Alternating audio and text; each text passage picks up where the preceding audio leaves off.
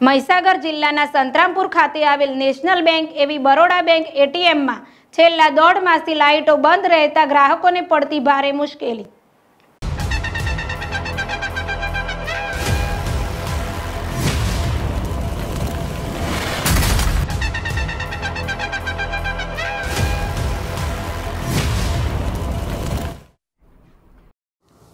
પ્રાપ્ત થતી વિગતો અનુસાર સંતરામપુર કોલેજ રોડ પર આવેલ બજારમાં આવેલ બરોડા બેંકના એટીએમમાં છેલ્લા દોઢ માસથી લાઇટો અને એર કન્ડિશન બંધ રહેતા ગ્રાહકોને ટ્રાન્ઝેક્શન કરવામાં પારાવાર મુશ્કેલીઓનો સામનો કરવો પડી રહ્યો છે.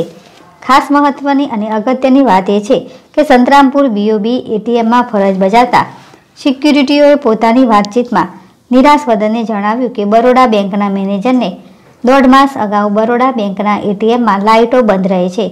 મુશ્કેલી વેઠવી પડે છે. તેવી લેખિત રજૂઆત કરવા છતાં આજ દિન સુધી કોઈ નક્કર કાર્યવાહી કરવામાં આવી નથી, જેના પરિણામે મારી ગ્રાહકો સાથે બોલાચાલી થાય છે. વાત કરવામાં આવી, સંતરામપુરના બરોડા બેંકનું એટીએમની તો બરોડા બેંકનું એટીએમમાં આવતા ગ્રાહકોને રાત્રિના સમયે લાઇટ બંધ હોવાના કારણે જ જે મુશ્કેલીઓ પડે છે તે મુશ્કેલીઓ રાહ પણ મરે.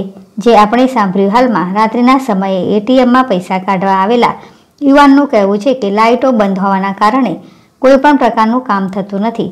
બરોડા બેંકનું એટીએમ પણ સ્લો ચાલે છે, જેના લીધે નાણાંની લેવડ દેવડ કરવા માટે મોબાઈલની લાઇટ ચાલુ કરીને અમે ટ્રાન્ઝેક્શન કરીએ છીએ. પરંતુ તે અડધો કલાક થવા આવ્યો છતાં પણ અમારું ટ્રાન્ઝેક્શન થવા પામ્યું નથી. અમે મુશ્કેલીઓનો સામનો કરી રહ્યા છીએ તો બીજા પણ ગ્રાહકો નાણાં ઉપાડવા માટે આવશે, તો એમને પણ મારી જેમ મુશ્કેલી પડશે ત્યારે બરોડા બેંકના લાગતા વરગતા અધિકારીઓ કર્મચારીઓ દ્વારા તાત્કાલિક અસરથી આ લાઇટો ચાલુ કરી એટીએમમાં પણ ઝડપથી સર્વર ચાલુ થાય તેવી અમારી માંગણી અને રજૂઆત છે.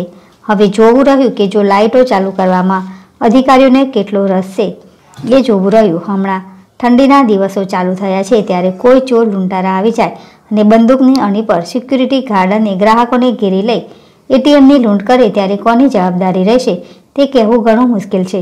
શું આ બાબતે યોગ્ય કાર્યવાહી હાથ ધરવામાં આવશે ખરી કે પછી હોતા હે ચલતા હે નીતિ અપનાવવામાં આવશે?